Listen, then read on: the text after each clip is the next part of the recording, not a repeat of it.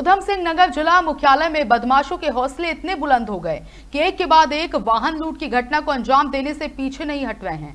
मामला रुद्रपुर, कोतवाली क्षेत्र और थाना पंतनगर के सिटकुल चौकी क्षेत्र का है, जहाँ बाइक बदमाशों ने तमंचे की नोक पर कार और बाइक लूट घटना को अंजाम दिया।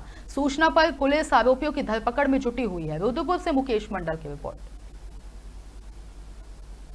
ये एक घटना पन्नगर में तीस तारीख की है और दूसरी घटना इसमें थाना क्षेत्र रुद्रपुर की है। दोनों में ही लूट की घटनाएँ हुई हैं।